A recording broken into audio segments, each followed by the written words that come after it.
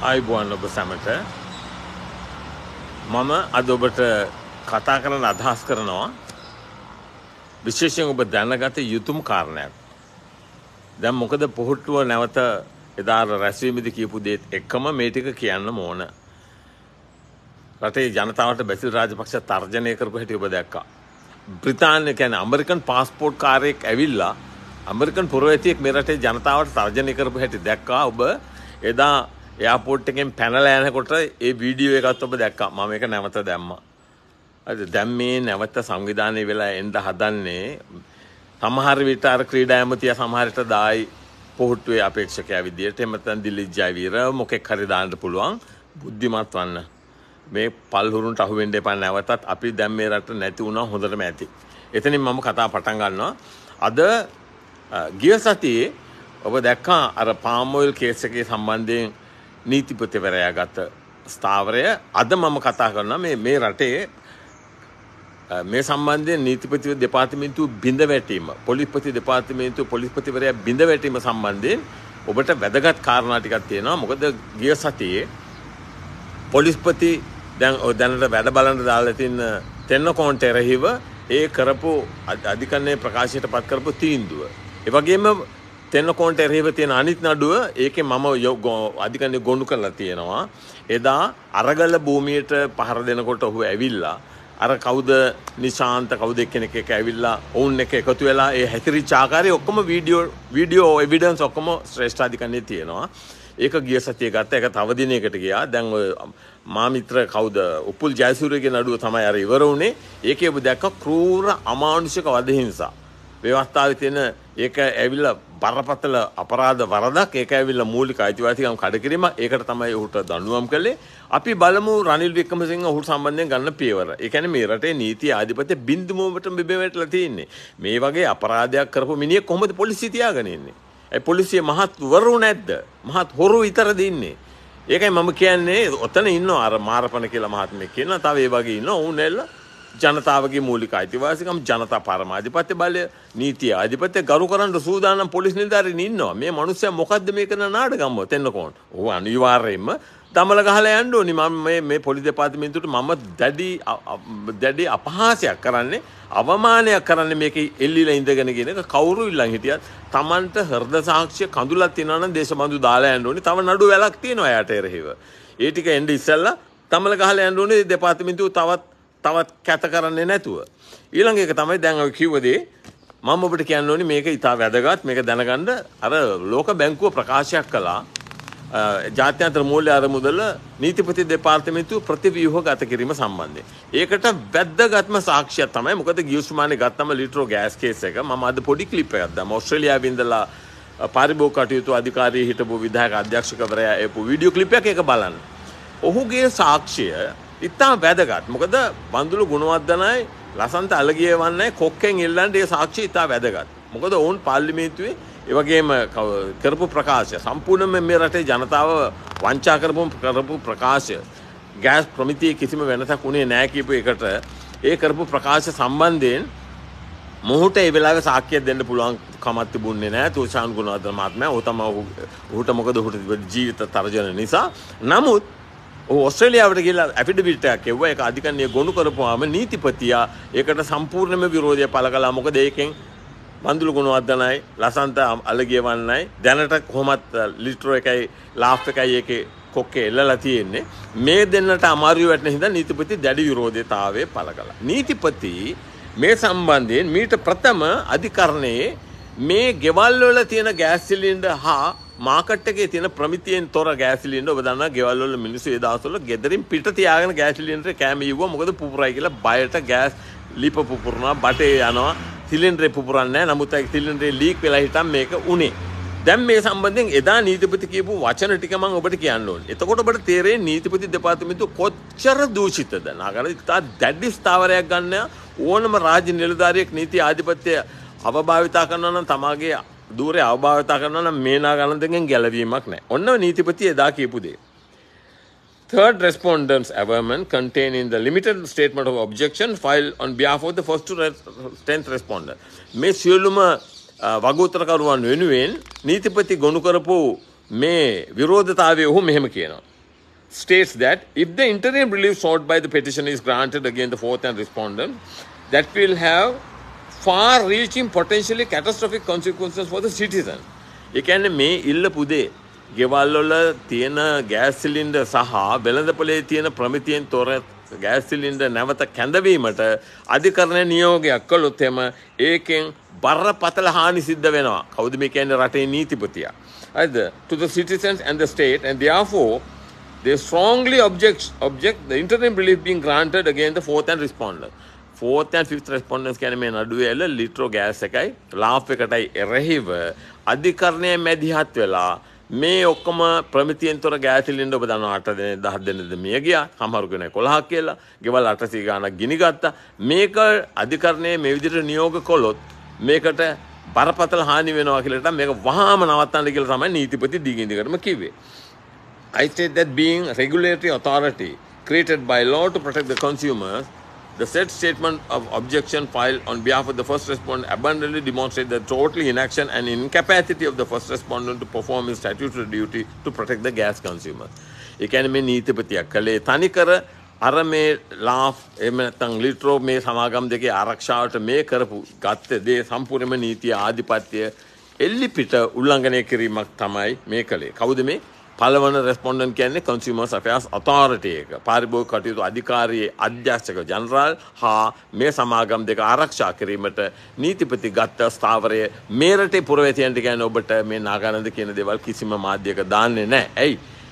ඔවුන් තෝනි මේ කුණු ක්‍රමවේදය තල්ලු කරන්න යන. ඒකද මේක හැම කෙනාටම මේක ෂෙයා කරන්න. නාගානන්ද දේශපාලනේ පිළිකුල් කරන කෙනෙක්. මොකද මේ රට එහෙම හදන්න බෑ. ඒ රට මිනිස්සු බහුතරයක් මේ කුණු ගොඩේ ඉන්නේ. ඒක දැක්කනේ ඔබ දැන්. ඉතින් මම දැන් නීතිපති දැන් මේ ඔහු එවපු ඔහු එව්වා මේ සම්පූර්ණ ඇෆිඩවිට් එකක් ඔස්ට්‍රේලියාවේ ඉඳලා එව්වා. ඔහුට තියෙන ජීවිත තර්ජන නිසා ලංකාවේදී මට මේක දෙන්න බැරි වුණා. දැන් නීතිපති මේකට බ්ලොක් කරනවා. මම රටේ ජනතාව හැටියට ඔබට කියනවා අපි මේ රටේ ජනතාව කා වේලා කන්න බැරුව. ඔබ දන්නවා කියලා දැන් අල ලුණු පරිප්පු හාල් කීල් සීනි කිලෝ එකට රුපියල් 50යි බදු. දෙයියනේ මේ රටේ මිනිස්සු කොහොමද ජීවත් වන්නේ? අනිත් ඒවටත් එහෙමයි. දැන් ලූණු අරම දැන් ලූණු දැන් මිනිස්සු කරාබු දාන තත්ත්වයට පත් වෙලා තියෙනවා. මාළ දාන පත් වෙලා තියෙනවා.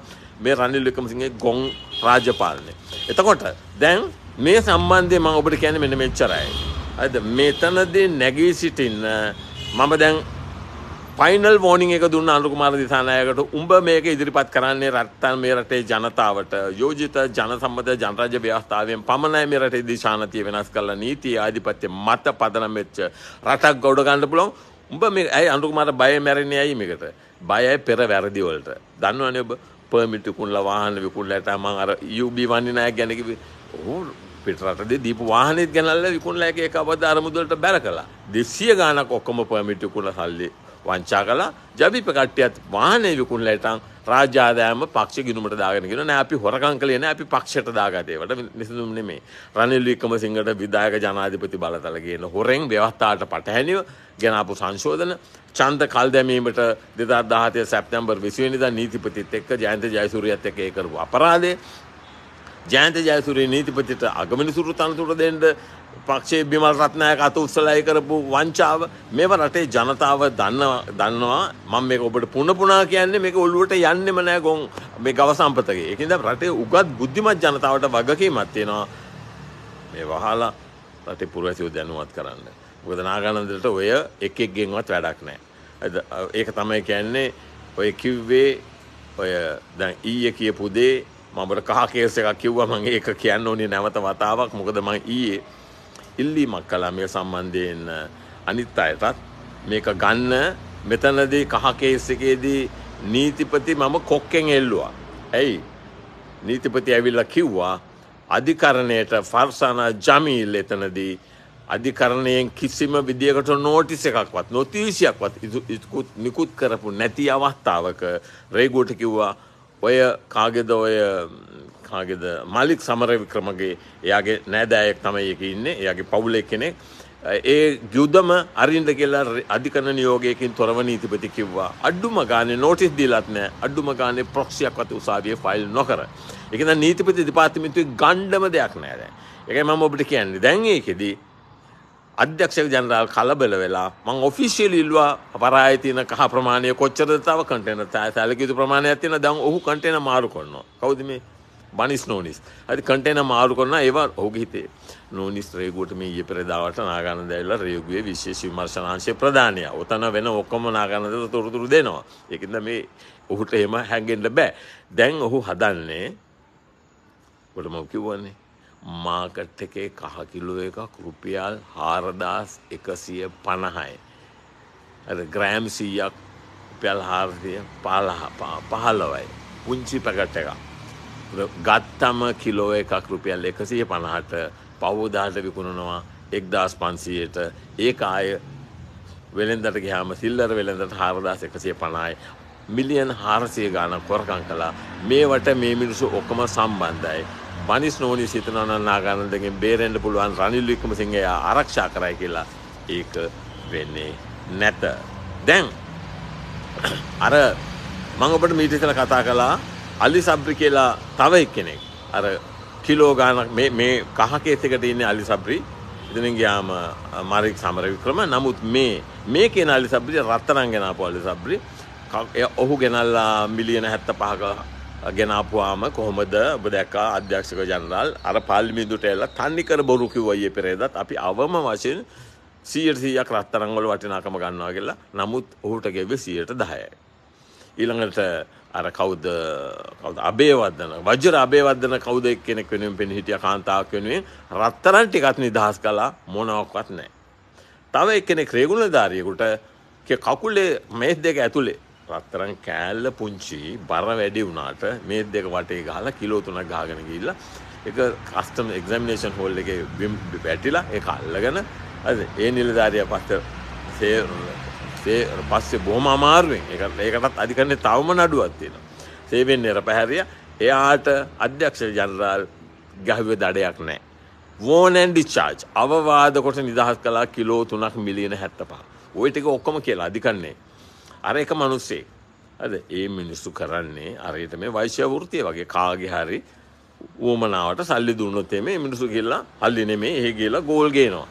ඩුබායි ඉඳලා ලංකාවට ගෙනවා ගේනවට ලක්ෂයක් දෙකක් දෙනවා ඇති. ඒක මිනිහාගේ රස්සාව. එතකොට මම ඔබට කිව්වා ඔකට විය යුතු දේ මොකද්ද කියලා? මේ රනිල් වික්‍රමසිංහ කියන ඔළුව කලඳක් නැති මිනිහට මම අදත් කියනවා. රත්තරන් කියන දෙයට එහෙම දෙයක් නෙමේ කළ යුත්තේ. රත්තරන් කියන කුඩු නෙමේ.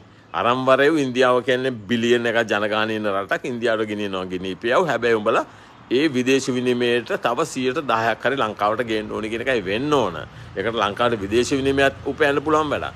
දැන් ඒ පුද්ගලයා එක්කෙනෙක් වෙනුවෙන් නාගන්න දෙපෙන්නේ. හැබැයි මහමුවට ආවේ මේ රත්තරන් ගෙන මිනිහා නෙමෙයි. අර රත්තරන් අතේ ආ ගෙනාපු මිනිහාගේ පවුල. අපෝ ඒකට මම ඉදිරිපත් කළා මිලියන 36කට කවුද මෙයා ගහන්නේ? නොනිස් ගැහුවා මිලියන 36ක් දැම්මට මම ඒක රාජකාරණයට ඉදිරිපත් කළා. ඔය ඔක්කොම එළියට දාලා ඔහුගේ ඔහුට අප පට නිදහස් කළා. නමුත් දැන් මට ආරංචියක් තියෙනවා.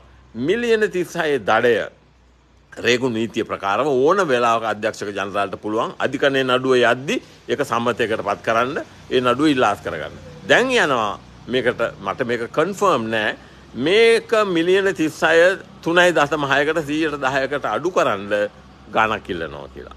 මම දන්නේ මේ ඉල්ලන්නේ අධ්‍යක්ෂක ජනරාල්ද නැත්නම් කවුද මුදල් අමාත්‍යාංශයේ ඉන්න කවුද ඉන්න අමාත්‍යවරයෙක් කවුද අර රැවුලත් ඉන්න තට්ටේ ඉන්න කවුද එයා එයාද කවුද කියලා මම දන්නේ මේ මේ මේකට ගානක් ඉල්ලනවා කියලට මේ 110ට අඩු කරන්න මෙම තියෙනවා මට තොරතුරක් ඒක අන්කන්ෆර්ම් රිපෝට් එකක් ඔන්න රටේ තත්ත්වේ. හරිද? මේ රටේ දූෂණය කියන දේ උඩු දුවල ඉවරයි.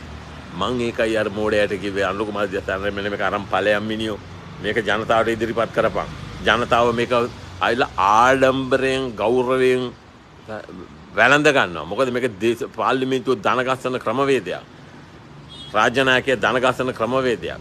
ධනාධිපති ධූරයේ අල්ලලා විසි කරන ක්‍රමවේදයක්. තියෙන 78 ව්‍යවස්ථාව අල්ලලා විසි කරන ක්‍රමවේදයක්. ජනතා පරමාධිපත්‍ය බලයට මේ සියලුම ආයතන යටත් කරන ක්‍රමවේදයක්. ඔය මොන ගියවසුම් ගැහ්වත් ඔය ගියවසුම් ඔක්කොම අවලංගු කරන ක්‍රමවේදයක් ඇතුළත් වැඩපිළිවෙලක් තමයි ඒක. පටිපදාවක් රටක් තියෙන ඕනේ පුද්ගලයෙක් හැදෙන්න රටක් හදන්න වැඩපිළිවෙලක් තියෙන ඕනේ මෙන්න මේකයි අරන් ඵලයන් කියලා නමුත් බයේ ඇඹරෙනවා. නමුත් ගිය පාර දැන් අද සාකච්ඡාවක් තිබුණා මාත් එක්ක ගිය පාර ජනාධිපතිවරණයේදී ඔබට මතක ඇති කවුද සජිත් ප්‍රේමදාස කිව්වා I will put forward a people's constitution through social revolution. මම මේ යෝජිත ජන සම්පති ජනරජ ව්‍යවස්ථාව ගේනවා ජනතාවට කියලා දැන් මම කිව්වා මට කිසිම දෙයක් එපා. මම උඹලගේ කිසිම දේශපාලනයකට එන්න මේක ජනතාවට ඉදිරිපත් කළා. මේ රටේ මේ වෙන අපරාධය නවත්තපන් කියලා මම සජිත් ප්‍රේමදාසට මම ඕක දැන් දැන් ඒගොල්ලෝ සාකච්ඡා කරනවා. මම කිව්වා පොඩි පොඩි වෙනස්කම් කරන්න මම සූදානම්. මොකද මේ රට වෙනස් විය යුතුයි.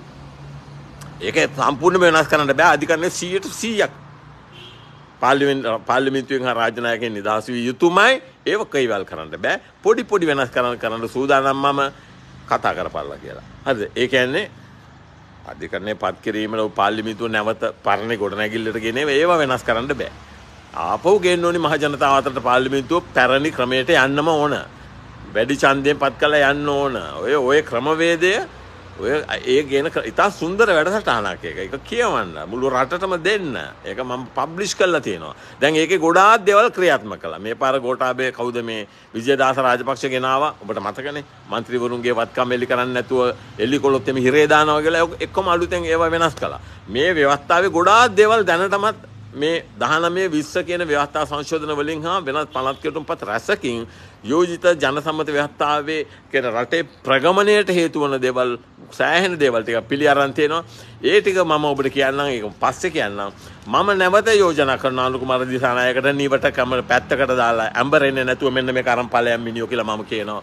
මොකද පෙරවැරදිවලට බය පැත්තකට තියලා රට පෙරට තබමං නැත්තං ඒකත් මං අද කියන ඔබට නැත්තම් මෙහෙම ගියොත්තෙන්නේ අකුලගෙන තුන තමහට තව කියපයකෙන් වැඩිවෙයි අනිවාර්යෙන්ම එච්චර තමයි ඊළඟට කිය මොනවා කරන්න ඉතින් අපිට දුන්නේ නැහැ රටේ ජනතාව. ඉතින් අපි දැන් මේ ලැබිච්ච ප්‍රමාණය සෑහීමටපත් වෙනවා කියලා මේ මෝඩයා කියයි. ඒකයි මම කිව්වේ. මම ওই දෙක කිව්වනේ. ඔය කහ කේස් එක ගැන කියපුවාම අනුරු කුමාරටයි කවුද හරින්ටි ඇඹරුට මොනවද කළේ?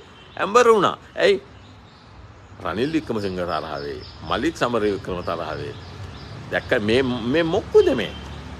මේ මොක්කුද පස්සේද අපි යන්නේ කියන එක පොඩ්ඩක් බුද්ධිමත් හිතන්න රටේ වෙනසක් කරන්න ඕන නම් කළ යුතු දෙයක් තියෙනවා. මේ නාගානන්දගේ ඇඟට කොට වෙලා වැඩක් නැහැ. නාගානන්දගේ කිසිම සමාවක් හම්බෙන්නේ නැහැ ඔය 225 එකෙකුටවත් මම දන්නා මේ රටේ ජනතාව මුහුණ දීලා තියෙන තත්ත්වේ ඌට ඔය කරන වැරදි වලට දැන් මම ඊයේ දැම්මනේ පුංචි ක්ලිප් එකක්. දැන් කිව්වනේ නාගානන්දයල බැසිල් රාජපක්ෂගේ නියෝජිතයෙක් කියලා හිතන්න. ඉත්තෙක් කිව්ව. දැන් ඒකත් අම්බරලා ගියා.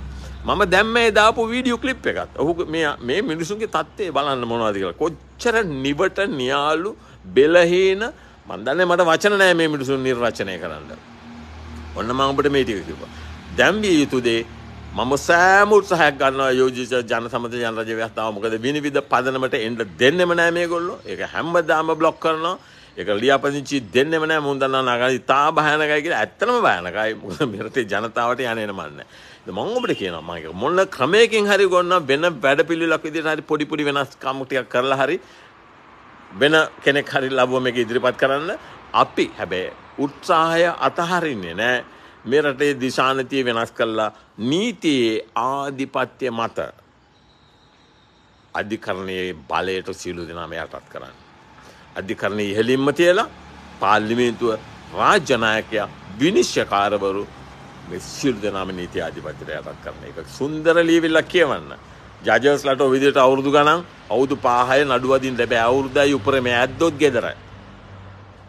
බලන්ඩ මහිත්‍රාත් අධිකනේදල ශ්‍රේෂ්ඨාධිකරණය පවා දක්වාම නීතිය ආධිපත්‍යයට ගරු කලන්ඩ ඕනි විනිශ්කාරවරු. වරදේ දූරයේ වරද විදිහයට පාවිච්චි කොළොත් ගෙදර සිර දඩුවම් විනිශ්චකාරවරු මන්ත්‍රියවරු රාජ්‍යනායකයා සිරු දෙනාම නීතියට අද යටත් කලා තියන්නේ අඩුම ගානේ ඔය තියෙන මුක්ති නෑ එතනින් ගයාම ඔහුට සමාව දෙන්න තියන දන්නන්න තිරසියෙන ගිල් අර කොහොද යන්න වර්ධකාරයකොට කෝටි ගානක නිදා ඒවා ඔක්කොම අයින් කරලා දීලා තියෙන එකම දෙයක් ඕන චූදිතයකට පුළුවන් වර්ධකරු කලාට පස්සේ අවුරුදු 20ක් ගිහිල්ලා හරි Tamanට සාක්ෂි තියෙනවා නම් DNA එවිඩන්ස් තියෙනවා නම් හරි අර බ්‍රිතාන්‍ය වගේම අධිකරණ ඉදිරියට ඒකට අභියාචනයක් ගෙන්න ඕන වෙලාවක දීලා තියෙන හැබැයි රාජ්‍ය නායකයාට මිනිසුන්ට සමාව දෙන්න බෑ. රාජ්‍ය නායකයාට කිසිම සමා ගැන නීතියට පටහැනිව වැඩ කළා මම නීතියට යටත් කරලා යන්න නෑ කියලා කියන්න බෑ. මේ වෙනස ඔය දෙසි විසි පහ එකෙක්වත් කරන්නේ නෑ ඒ ගැන මට කිසිම සැකයක් නෑ. ඒක නිසා තමයි මේ වැඩ පිළිල ගෙනාවේ ඒක පුළුවන් තරම් ප්‍රචලිත කරන්න මේ රටේ දූෂිත ජනමාධ්‍ය මේක සම්පූර්ණයෙන්ම යට ගහනවා. නමුත් ඒක ඔබ මැති කරලා ගන්න හරියට ඒක නිකන් දියේ යට තියෙන බැලුම් බෝලයක් වගේ. ඒක අතෑරිය හැටියට ටක් ගාලා උඩට එනවා. ඔබ හඳා බැලපෙන හැටි ඔබේ හද ගැස්ම මේ නාගනඳට හොඳටම පේනවා. හොන්දටම දකිනවා. ඔහු කුණු කඳුලක් නොගාගන්න ගාගන්නේ නැති විනිවිධ පදනම ඔය මොකෙකුටවත් නවත්තන්න බෑ ඒක නියෝජනය කරන්නේ මේ රටේ අහිංසක කිසිම දෙයක් කරගන්න බැරි ජනතාව දැන් දෙවන්න පන්තියක් නෑ මේ රටේ ඔක්කොම දනෙන් වැටලා කනකරත් බැංකුවේ කන්න වෙලක් නෑ දවසට එක වෙලක්වත් යටගහගන්න බැරි අවස්ථාවක තමයි මේ රනිල් වික්‍රමසිංහ කියන මිනිහා උත්සාහ කරන්නේ තවමත් මර්ධනය තුළින් මේ රට ගෙනියන්නේ. ඒකට ඉඩ දෙන්න එපා. අපි නැවත හමුවෙමු. බොහොම ස්තුතියි.